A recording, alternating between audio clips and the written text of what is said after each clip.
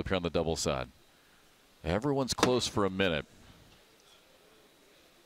And then something happens, the game turns, and then you're done.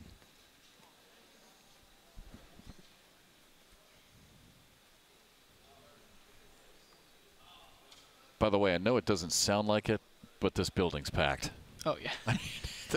That- we talked about it yesterday and joked about it, but I mean it is it is palpable. I mean just the tension in the room. I mean, a world championship on the line here. Everyone literally hanging on each bag.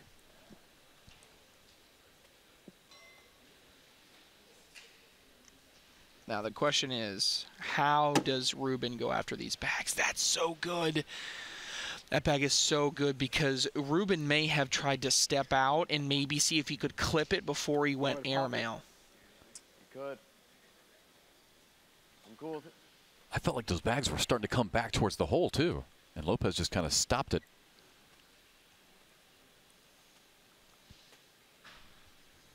What's Jay going to do here? He's going to go for it. Oh, I was short. That's My fine. bad. That's fine. Oh, That it's bag's still coming back. close. Yeah, yeah. Hopefully he'll just slide and miss. No, you're good. Yeah, I mean this bag you feel like is, is as good as in. Yeah. The question is this one. Right. And again, how aggressive you want to be. Wow. So many chances here. You can go if you go after it with an airmail and miss, you give up five.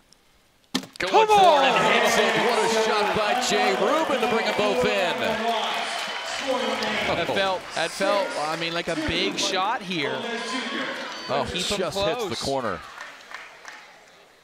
That's trust in a partner right there.